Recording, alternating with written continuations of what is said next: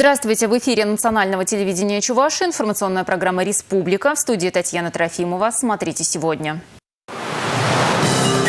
На службу в самое сердце страны. В Чувашии проводили новобранцев Кремлевского полка.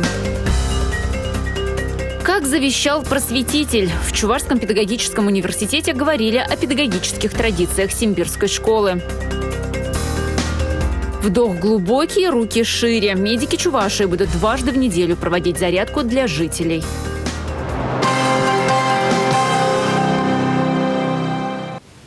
Все красавцы молодые, великаны удалые. Из Чувашии на службу в Кремлевский полк проводили сегодня 10 новобранцев. Торжество проходило в Канаше в актовом зале сборного пункта. Воинская служба всегда почетна, но служба в Кремлевском полку еще и престижна. Попасть в это формирование мечтают многие, удается не всем. Но, к слову, из Чувашии в каждый призыв набирают не менее 10 человек. И не только за красивые глаза. Занимался боксом, закончил училище Олимпийского резерва.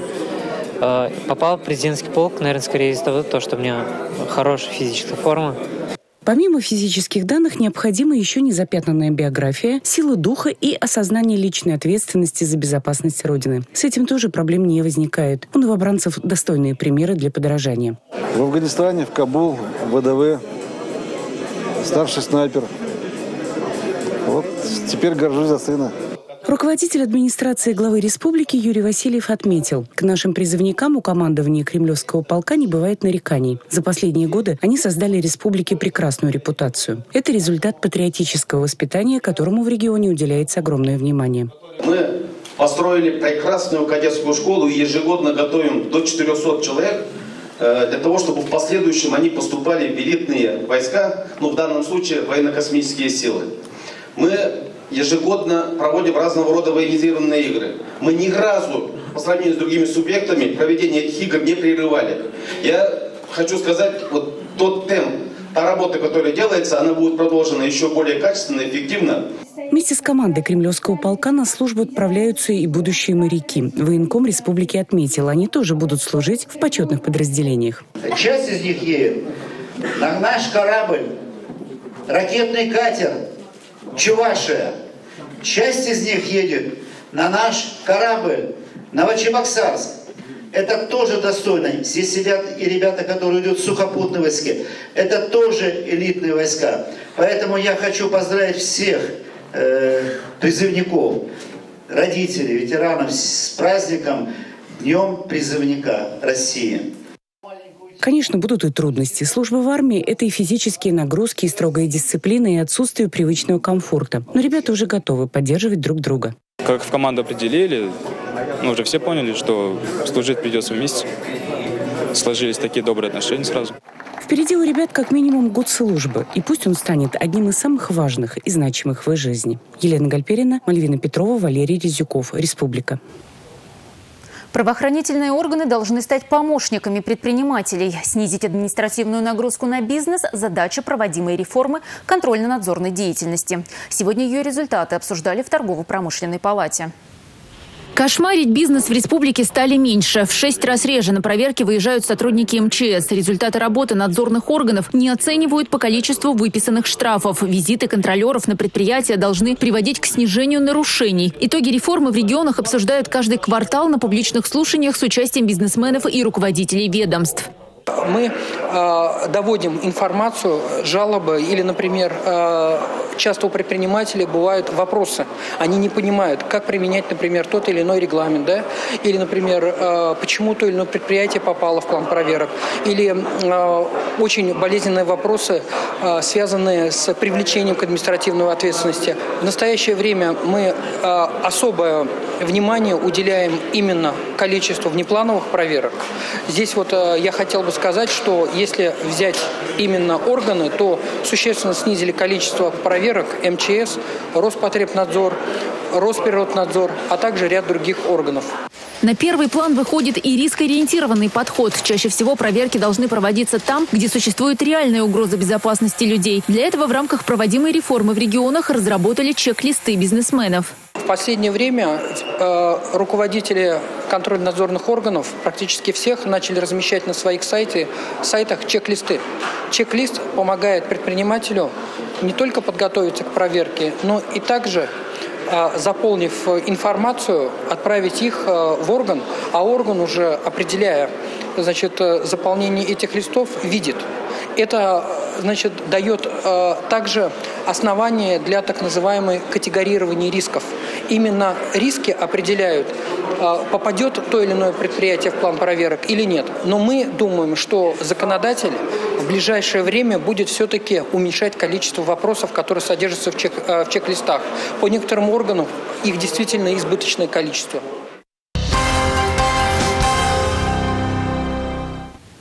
Уход из жизни подростка – это всегда трагедия. Вдвойне ужасно, когда молодые люди идут на это сознательно. Какие меры нужно предпринять, чтобы уменьшить количество таких случаев, говорили на заседании правительственной комиссии.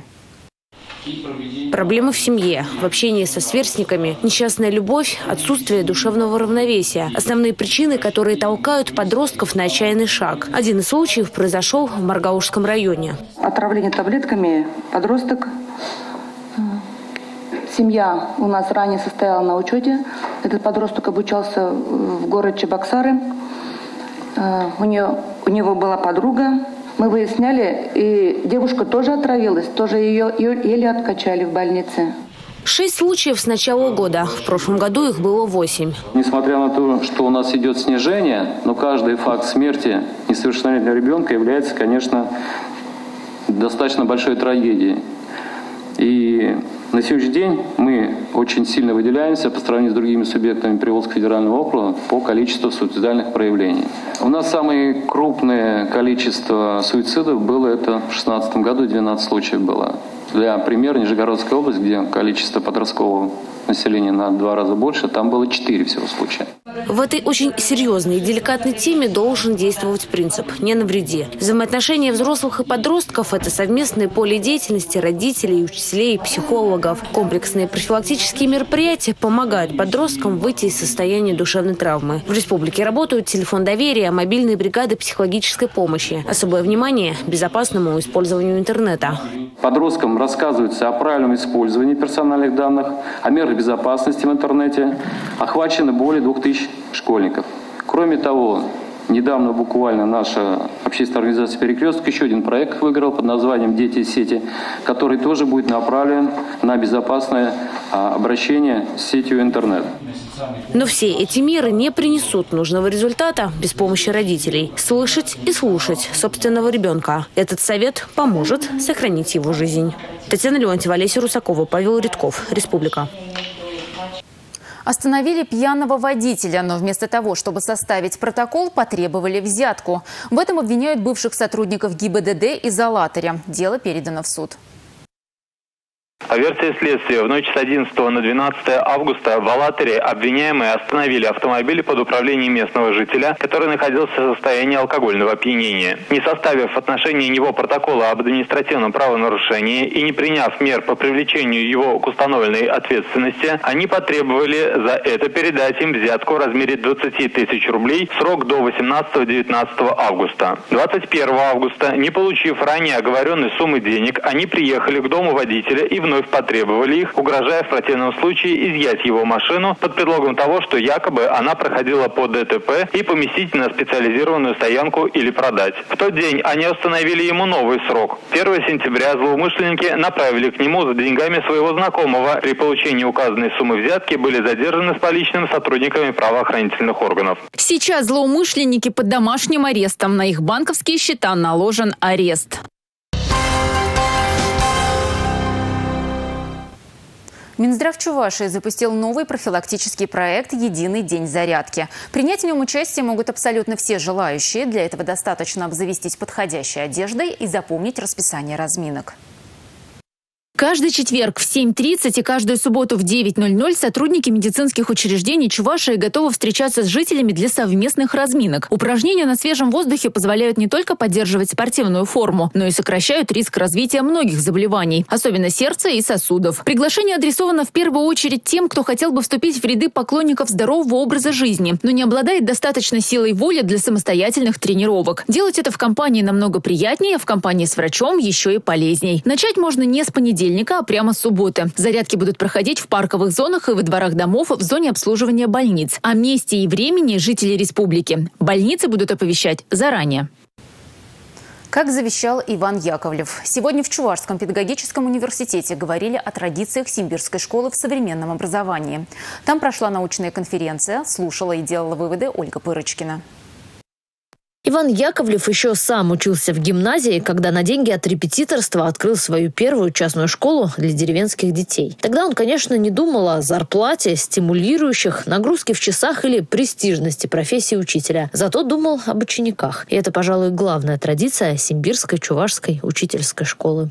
Одна школа перевернула все сознание и всю э, нашу самобытность, и, соответственно, дала нам толчок, источник жизни и развития. Мы сегодня бережно храним и их традиции, и перенимаем тот опыт, особенно опыт, когда учитель был непосредственно связан с жизнью сельского жителя, непосредственно связан с жизнью ребенка. Этот год у нас посвящен 170-летию со дня рождения Ивана Яковлевича Яковлева, и поэтому многие мероприятия, которые проходят в Чувашской республике, они посвящены как раз не только тем великим делам, наследию Ивана Крещака, ну и, конечно, и созданию той сети школ, которые, по сути дела, зародили подготовку кадров.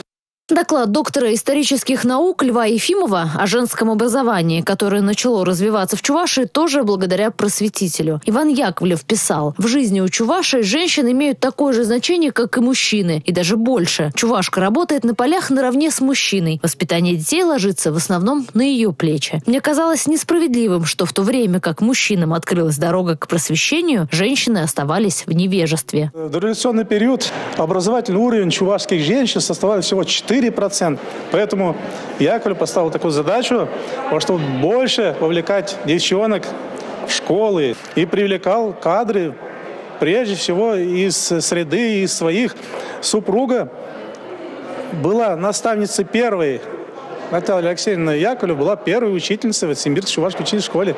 За полтора века система образования в России сильно изменилась, но главный принцип учителя, пожалуй, прежний. Самое главное – стать преподавателем интересным для детей. Не просто рассказывать им так нудно и скучно предмет. Это должно быть интересно, чтобы в их глазах загорелся небольшой огонек. И пока будущие педагоги так думают, образование в республике в надежных руках. Все, как завещал патриарх чувашской культуры. Ольга Пырочкина, Игорь Зверев, Республика. Сегодня в галерее «Серебряный век» развернулась выставка избранных произведений участников 12 кокелевских международных пленеров. В творениях дивных кокелевских пленеров цветет Чувашия моя. Так называется сегодняшняя выставка. За 12 лет в творческих сессиях приняли участие 139 представителей разных школ изобразительного искусства из России, Белоруссии и Украины, среди которых народные художники, мастера и юные дарования. Какого уровня, высочайшего уровня здесь представлены художники, какого высокого уровня участвуют художники в нашем пленере. Большой особенностью нашего пленера является то, что мы хотим через э, наши картины, через художников показать, что Чувашская республика многонациональная, в которой проживают представители 128 народов, они проживают в дружбе, мире, согласии и уважении.